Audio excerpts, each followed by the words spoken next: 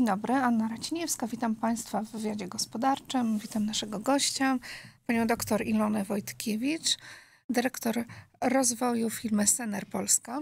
Dzień dobry, witam serdecznie. Firmy z branży kosmicznej. I porozmawiamy o tym dzisiaj, e, jak zbliżyć ze sobą biznes i naukę. Mm, może zacznijmy od tego, po co w ogóle zbliżać ze sobą biznes i naukę, komu to potrzebne. E, przede wszystkim jest to fantastyczna synergia, e, jeżeli połączymy rzeczywiście przemysł i naukę dla przyszłych patentów, rozwiązań, które można wdrożyć, skomercjalizować. Jest tyle fantastycznych pomysłów, które są na uczelniach E, które nie są później w ogóle komercjalizowane. Więc do tego właśnie służy firma. Te dwa podmioty połączone ze sobą e, mogą przyczynić się do wdrożenia rzeczywiście e, różnych sposobów rozwią rozwiązań czy technologii, nowych technologii na rynku. Więc myślę, że, że to połączenie jest niezbędne, aby takie idee, które funkcjonują na uczelniach, mogły zostać sprzedawane.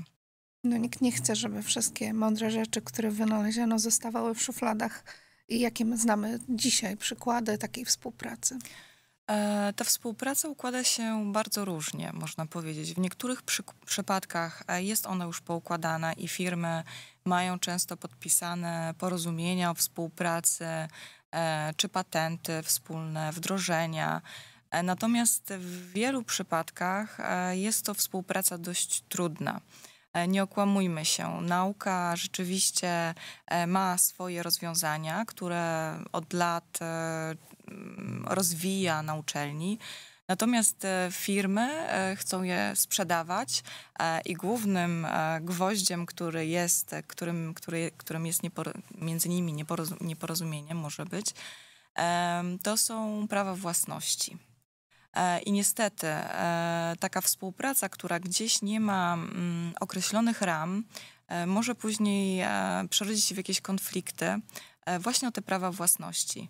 Ale mm, jednym z przykładów właśnie współpracy naukowo-biznesowej, który jest w Polsce od trzech lat, to są właśnie doktoraty wdrożeniowe. I tutaj dzięki rządowi, dzięki ustawie o innowacyjności zostało to w pewien sposób e, uregulowane e, i te przypadki funkcjonowania takiego, e, takich związków nauki z biznesem istnieją i mają się coraz lepiej.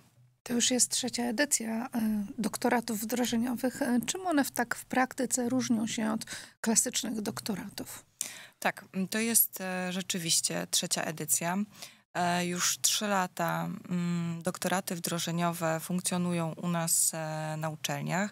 E, na początku jeszcze w ogóle, jeżeli chodzi o zgłoszenie i rekrutację osób na, na doktoraty, to było rzeczywiście ich bardzo mało. Tam około chyba 40 osób rekrutowa w ogóle w całej Polsce było rekrutowanych na doktoraty wdrożeniowe. E, teraz się już to nie zdarza. Jest tych osób ponad 400 chyba w tym roku było. Jeżeli chodzi o taki doktorat wdrożeniowy, e, a doktorat klasyczny, to przede wszystkim e, doktoraty wdrożeniowe pozwalają doktorantom na jednoczesną, równoległą pracę w firmie, a z drugiej strony na prowadzenie badań naukowych, i rozwijanie naukowego problemu e, badawczego na uczelni.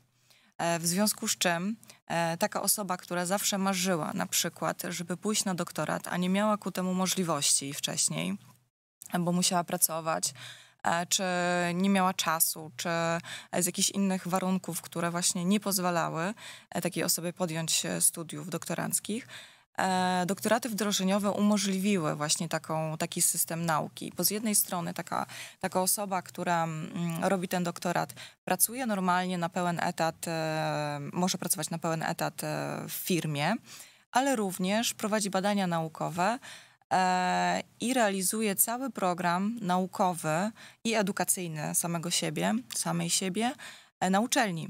Więc to jest takie połączenie, które wcześniej nie istniało, E, i różni się właśnie od doktoratu klasycznego. Doktoraty klasyczne to są, to są również studia, które można realizować w systemie stacjonarnym E, tylko proszę zrozumieć, że taki doktorat, mm, taka osoba, która zdobywa się na, na decyzję podjęcia doktoratu klasycznego, musi wypełniać um, pensum, obowiązki administracyjne, organizacyjne na uczelni.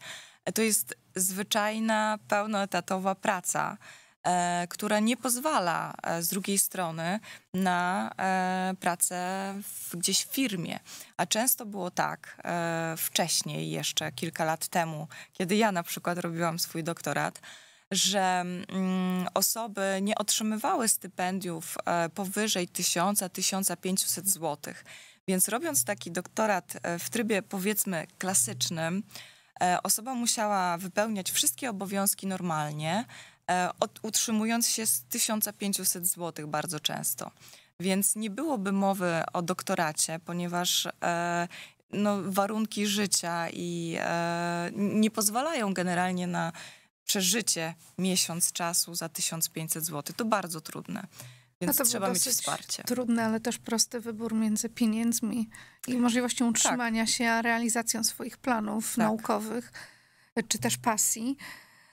Mm, dochodzimy do takiego pytania, kim jest e, opiekun przemysłowy, który mhm. tutaj w doktoracie e, wdrożeniowym istnieje jako właśnie ta część e, biznesowa.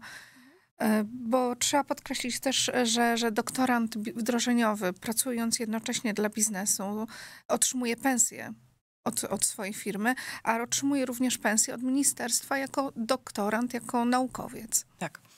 Eee, wracając do opiekunów przemysłowych. Mm, taka osoba, która podejmuje się doktoratu e, wdrożeniowego, przemysłowego, ma dwóch opiekunów. Jeden opiekun to jest opiekun naukowy, e, który znajduje się na uczelni i on e, pilnuje i wspiera e, wszystkie obowiązki, zadania związane z uczelnią, czyli między innymi właśnie to pensum, jakieś obowiązki administracyjne, publikacje naukowe. Wspiera taką stronę tego, doktor, tego, te, tego doktorata, doktoranta i doktoratu, bardziej właśnie od strony naukowej. Natomiast osoba, która mm, jest na, na firmie, jest opiekunem przemysłowym, wspiera tą osobę technicznie, trochę technologicznie, ale merytorycznie również. E, czyli to połączenie dwóch osób sprawia, e, że doktorat z jednej strony ma pełną wiedzę e, o technologii, która jest udostępniana, przekazywana z firmy, aby rozwiązać pewien problem, który jest powiedzmy E, w zgodzie z, z, potrzebą firmy, a z drugiej strony e, jest ten opiekun naukowy, który rozwija e, zainteresowania doktoranta pod stroną, od strony takiej naukowej, czyli sprawdza, czy na przykład, nie wiem, tezy czy hipotezy są postawione poprawnie, czy praca jest zrobiona, napisana poprawnie. E, bada taką szatę, powiedzmy, e, treści pracy naukowej, pracy badawczej, problemów badawczych, czy te problemy są prawidłowo postawione. Często właśnie e, wspiera doktoranta w prawidłowym ustawianiu właśnie takich pytań, badań w zasadzie. E, I oczywiście e, ma pieczę nad całym pensum, nad godzinami naukowymi, nad wypełnianiem obowiązków administracyjnych, bo jednak e, doktoraty wdrożeniowe tutaj są podobne z doktoratami klasycznymi. Może jest trochę mniejsza liczba godzin pensum, czyli tych godzin, które należy, mm, podczas których należy nauczać, ale one jednak są, czyli trzeba to wszystko wypełniać. E, po pierwszym roku istnieje możliwość zwiększenia tego stypendium. E, pierwsze stypendium, które jest, jest około 3000 zł, powyżej chyba 3000 zł. Natomiast e, po pierwszym roku, kiedy doktorant sprawdził się, ma już jakieś osiągnięcie naukowe, praca, mm, ma jakieś publikacje na temat właśnie swojej pracy, przyszłej pracy albo tematu, jeździ na konferencje e, oraz ma wypełnione godziny, e, wówczas może starać się o podwyższenie tego stypendium o ponad chyba 1000 złotych. więc tam jest powyżej 4000 zł po pierwszym e, roku, jeżeli chodzi o stypendium. A z drugiej strony, e, co jest bardzo fajne, ta, taka osoba, która podejmuje się tego doktoratu, otrzymuje normalną pensję od pracodawcy. Czyli e, załóżmy, że pula z dwóch stron jest zwiększona o to stypendium, które jest nieopodatkowane e, w kwocie 3000 zł, powyżej 3000 zł, a później powyżej 4000 zł. A jaki interes w tym ma firma? Od tej strony spójrzmy na to. Sener Polska zatrudnia około 30 osób i aż dwoje z nich bierze udział w doktoracie wdrożeniowym i z tego, co pani mówiła, to jest rozwojowa sprawa. Tak, e, rzeczywiście. Mamy, to jest w ogóle pierwszy raz, e, pierwszy rok, kiedy e, te doktoraty wdrożeniowe u nas w firmie istnieją. Przygotowywaliśmy się do tego dość długo, można powiedzieć, około roku. Ja wierzę absolutnie, że firmy, niektóre firmy, które są być może mniejsze lub nie mają takiej procedury, którą sobie my wypracowaliśmy wewnętrznie, e, mogą zrobić to dużo szybciej. Ale u nas w firmie wyglądało to tak, że e, około roku temu podpisaliśmy porozumienie o współpracy z Politechniką Warszawską. To jest na razie pierwsze porozumienie, które posiadamy właśnie w ramach doktoratów wdrożeniowych, ale nie tylko, ale też obejmujące właśnie doktoraty wdrożeniowe.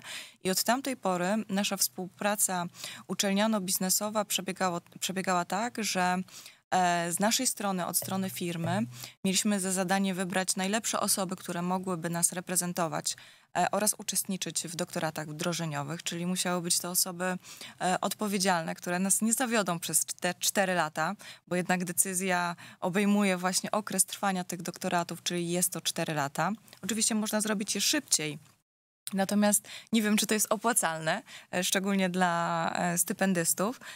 Więc e, mieliśmy taki wewnętrzny proces e, rekrutacyjny, w którym osoby miały złożyć e, taką wstępną pracę mm, pomysł na pracę doktorską. Obejmował on temat, hipotezy, problemy badawcze, narzędzia. Później następowa następowała rozmowa wewnętrzna z naszym HR-em, z naszym szefem.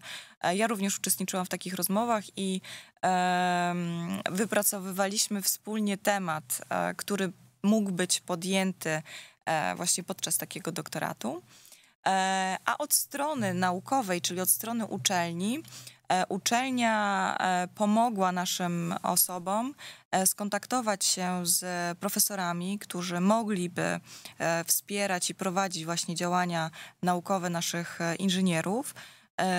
I te, e, ci profesorowie wspierali na takim etapie, że właśnie przygotowywali wstępnie do rekrutacji, jeżeli chodzi o temat rozprawy, o problemy badawcze, e, ponieważ składając aplikację na do, doktorat wdrożeniowy, e, taka osoba musi wypełnić szereg pytań właśnie o pracy doktorskiej, o rozprawie, o tym, jaki ma być tytuł, jakie mają być problemy, Ministerstwo Nauki też e, sprawnie to później e, weryfikuje, czy rzeczywiście te problemy badawcze e, są rzeczywiste, czy one mają odzwierciedlenie w, rzeczywistości w firmie.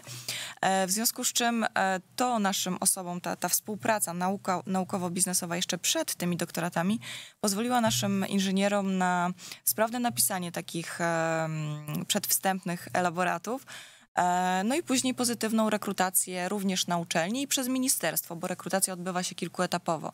Więc u nas w firmie była powiększona o ten jeden etap, e, właśnie wewnętrzny, później e, na Politechnice i później na ministerstwie. Dziękujemy bardzo pani doktor za rozmowę. Liczymy na to, że doktoraty wdrożeniowe, które u was są realizowane w współpracy z Politechniką, rozwiążą różne E, przyniosło nowe rozwiązania dla polskiej branży kosmicznej. Bardzo dziękuję. Dziękujemy i zapraszamy Państwa do telewizji w Polsce, do naszych kolejnych programów.